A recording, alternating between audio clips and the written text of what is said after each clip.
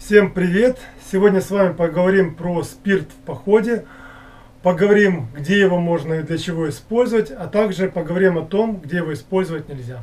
Первое, что можно сделать со спиртом, это обеззаразить ваши руки, например, перед едой. Вы собрались поесть, налили немножечко спирта на руки, смазали их целиком и зажали в кулаки. Вот таким вот примерно образом. Для того, чтобы спирт медленно испарялся.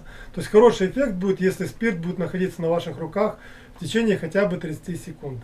Чем меньше спирт находится на ваших руках, тем, соответственно, меньше выражен антисептический эффект. Некоторые люди пшикают спиртом на руки, растерли и вот таким вот образом их, его быстро выветривают. То есть таким образом спирт обычно испаряется в течение первых 5-10 секунд, и вы не имеете нужного эффекта, то есть руки в этом случае не очень хорошо продезинфицированы. Лучше, если нанесли немножечко спирта, опять же, растерли, э, зажали в кулаки, подождали немножко, после этого еще раз попшикали, если спирт успел испариться, еще раз подождали, и так в течение 30 секунд. Второй момент, который нужно знать э, об антисептических свойствах спирта этилового, это то, что он хорошо проявляет эти свойства только если концентрация его не ниже 75%. Э, то есть от 75 до примерно 95%. То есть медицинский спирт, который вы покупаете в аптеке, примерно 95-96%. Его использовать можно. Если же мы берем какую-нибудь там водку, где э, количество спирта где-то 40, там не знаю, 50%, то это не очень хорошо, эффект антисептический в данном случае будет выражен слабо. Еще один момент, на ваших руках, которые вы собираетесь обрабатывать этиловым спиртом, не должно быть никаких биологических э, жидкостей посторонних, поскольку разные слизи, протеины, они инактивируют э, спирты. И не только, кстати, этиловый спирт, но и другие спирты, которые предназначены для э, дезинфекции рук. И таким образом эффект от этих спиртов резко понижается. Поэтому предварительно желательно руки от каких-нибудь биологических жидкостей очистить. очистить. Но это скорее касается медиков. Также нужно понимать, что э, изопропиловые и пропиловые спирты, они в плане антисептики лучше, чем этиловый спирт, но у этилового спирта, как по мне, больше различных других применений. Еще одно применение этилового спирта – это дезинфекция медицинских инструментов. Походе может понадобиться вытащить занозу там где-нибудь из ноги, из пальца руки, ну из какого-нибудь другого места – в этом случае нужно будет обработать, опять же, э, достаточно высокой концентрации спиртом поверхность, где находится заноза, обработать медицинский инструмент, например, это может быть иголка, либо скальпель, и после этого только орудовать по вашему телу.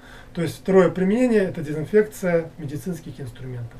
Следующий вариант применения телового спирта – это пеногашение при отеке легких.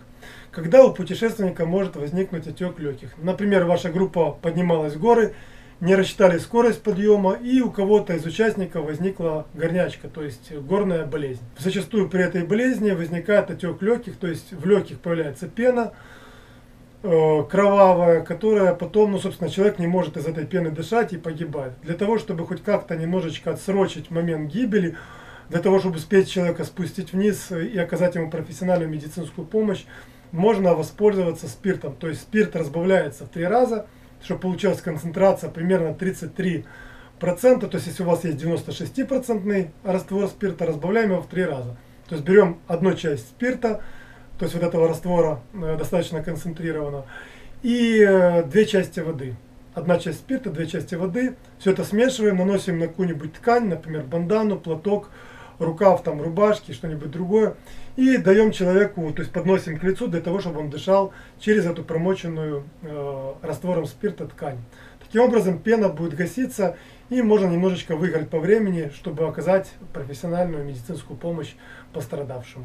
Еще один способ применения этилового спирта в походе – это использование его в качестве растопки для костра. Например, у вас есть растопка, которая увлажнилась после туманов, после дождей, плохо разжигается, например, от того же огнива, можно полить ее спиртом, убрать сам флакон, сам, саму емкость со спиртом подальше, чтобы не было пожара.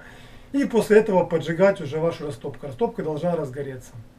Но нужно понимать, что спирт выгорает достаточно быстро, поэтому нужно все-таки профессионально организовать костер, а спирт должен служить только как вспомогательное средство, а не как основное. Еще один способ применения спирта в походе – это использование его в качестве топлива для горелок.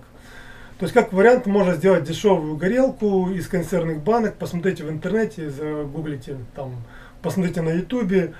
Э, горелка на спирту своими руками. Увидите кучу разных вариантов, где народ разделяет э, консервную банку на две части, проделывает в ней дырочки, заливает туда спирта и пользуется для того, чтобы разогревать еду.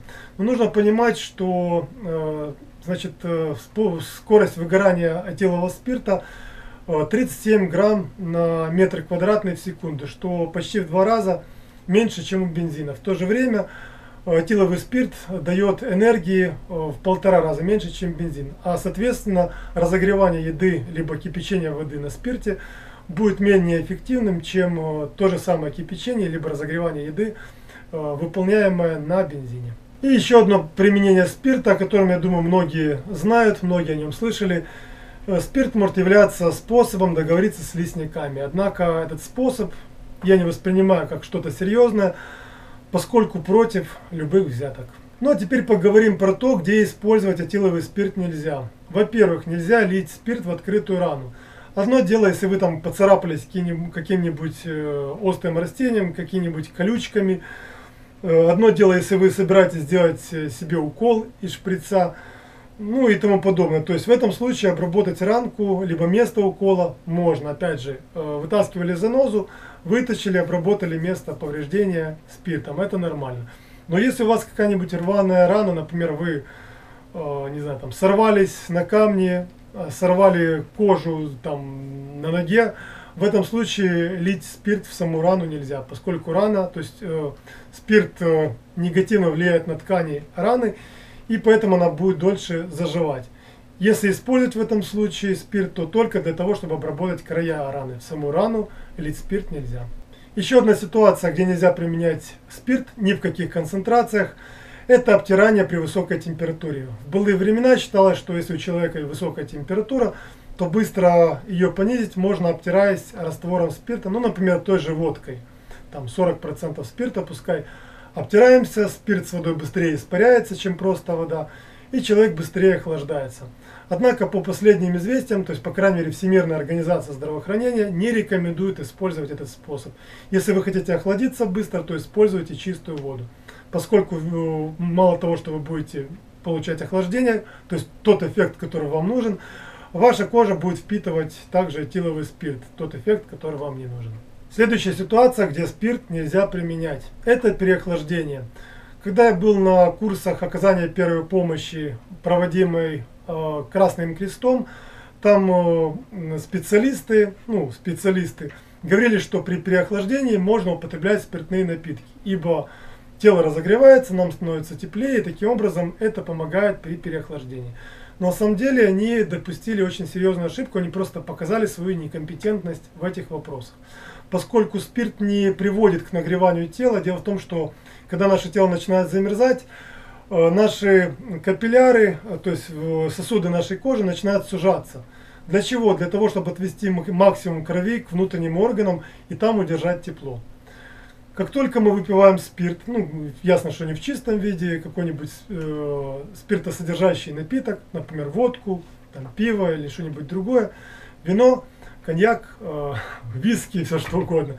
Что происходит? Спирт расширяет наши сосуды на периферии, и кровь из внутренних органов, там, где пытался организм ее удержать, чтобы сохранить тепло максимум, э, то есть максимальное время, чтобы организм не переохладился. Кровь начинает оттуда приливать к нашим рукам, к нашим ногам, то есть коже. Таким образом, э, та кровь, которая находилась внутри, тепленькая, поступает к поверхности нашего организма и начинает быстрее э, охлаждаться.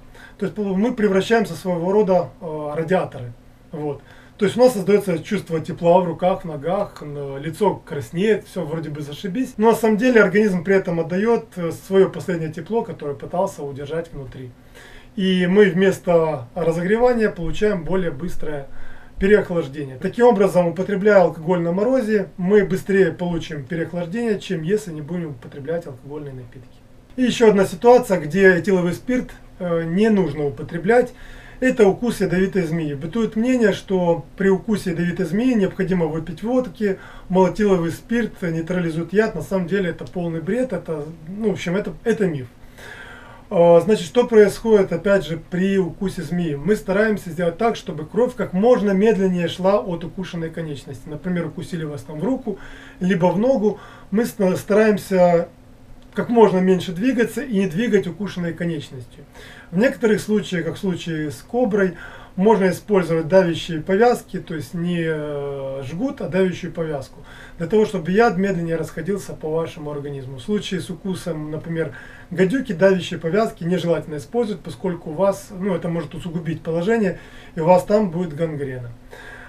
Вот, э, что делает спирт? Спирт, опять же, как я сказал раньше, расширяет сосуды, и кровь быстрее промывает вот это вот место укуса, Соответственно, яд быстрее расходится по вашему организму, вы получаете более быструю интоксикацию. Поэтому использовать алкоголь во время укуса змеи, то есть после него, ни в коем случае нельзя. Ну и раз уж речь зашла про пероральное употребление алкоголя, то есть употребление алкоголя в виде, например, тех же э, спиртных напитков внутрь через питье, то нужно сказать несколько слов про его вред на организм человека. Ну, во-первых, если вы находитесь в условиях похода, где необходимо постоянно находиться э, в, скажем так, в состоянии ушки на макушке, то есть быть максимально предельно внимательным, поскольку природная дикая среда это вам не городские условия, где также необходимо быть внимательным, то есть там еще все намного хуже. В случае э, какой-нибудь травмы, чрезвычайной ситуации у вас не будет, например, э, поблизости тех же медработников, и других э, ребят, которые смогут вам помочь. То есть вам придется рассчитывать исключительно на свои силы. Поэтому в, этих, в этой ситуации алкоголь неприемлем, поскольку алкоголь снижает чувство опасности и внимательность, что может в некоторых ситуациях увеличивать э, вероятность возникновения чрезвычайной ситуации. Следующий негативный момент от употребления алкоголя внутрь связан с его диуретическим эффектом. И пускай он выражен не очень сильно, но тем не менее, если у вас, например, ограниченные запасы воды питьевой, то употребление алкоголя будет приводить к более частому мочеиспусканию. Соответственно, запасы воды питьевой будут быстрее истощаться. Также рассматривая вопрос э, влияния э, алкоголя на организм человека, следует вспомнить, что Международное агентство по изучению рака, которое является частью организации, то есть Всемирной организации здравоохранения, относит э, алкоголь, то есть этанол, к канцерогенам первой степени опасности, то есть к тем веществам, которые доказано приводят к увеличению э, риска возникновения раковых заболеваний. Некоторые полагают, что алкоголь в небольшом количестве дает э, некоторые положительные эффекты для здоровья человека. Также алкоголь э, рекомендуют употреблять некоторые врачи. Однако, если мы посмотрим на систематический обзор 2016 года, который захватил исследования начиная с 1990 и заканчивая 2016 годом, то мы увидим выводы авторов, которые говорят о том, что алкоголь в любых количествах отрицательно влияет на здоровье человека. То есть, конечно же, есть положительные некоторые эффекты, но если мы берем суммарно, то в сумме алкоголь дает больше негатива, чем позитива. Также не будет лишним э, вспомнить недавнее исследование, в котором сравнивали вред от различных наркотических средств. Э, в том числе и от алкоголя. Да-да, алкоголь является тоже наркотиком. У нас он в стране не называется официально наркотиком, но по факту с медицинской точки зрения это наркотическое средство. Поэтому все, кто его употребляет, по большому счету являются наркоманами чем вас и поздравляю. В общем, э, алкоголь вызывает привыкание, алкоголь влияет на наше поведение. То есть это полноценное наркотическое средство. Так вот, сравнили вред от различных наркотиков и алкоголь по своему вреду, по своему вредному влиянию на здоровье человека и на общество в целом стоит всего-навсего на пятом месте. После героина, кокаина и там еще парочки наркотиков. Поэтому делайте выводы. По теоретической части у меня на сегодня все. Я думаю, каждый смог для себя сделать выводы полезно ли использовать алкоголь, вредно ли использовать алкоголь и в каких ситуациях. Ну а теперь к практической части, как можно носить э, спирт с собой, в чем удобно. То есть я беру с собой обычно вот такой вот флакончик в походы. Походы у меня обычно не больше 10 дней, поэтому его хватает с головой. То же самое я беру с собой на работу, что очень удобно. Флакончик сделан из пластика. В нем раньше находился какой-то антисептик, рекламировать его не буду, просто берете флакончик из-под антисептика. Здесь вот есть такая штука, распылитель, то есть остатки еще алкоголя у меня там остались. Просто берем такую вот емкость, покупаем этиловый спирт в аптеке и заливаем его в эту емкость. что-то упало. Аккуратненько заливаем. Емкость это рассчитана на 50 миллилитров.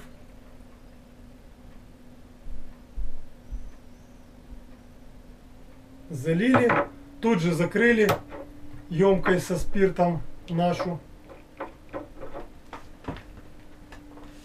Взяли пульверизатор, закрыли, все, у вас с собой вот такая вот емкость удобная для ношения в рюкзаке. Она опять же не бьется, это пластик, она небольшая, то есть много места не занимает. И что еще удобно, она не тяжелая. Налили и пользуйтесь. При необходимости сняли крышку, положили где-нибудь, попшикали на руку, размазали, сложили руки вот таким вот образом, подождали некоторое время, секунд 15, если высохло, опять же, снова попшикали, растерли, подождали, и все, после этого ваши руки продезинфицированы. Так что, в принципе, удобный вариант. Предлагаю к пользованию. Ну а на сегодня все. Если есть вопросы, задавайте их в комментариях под данным видео. А я со всеми прощаюсь. До скорых встреч. Пока-пока.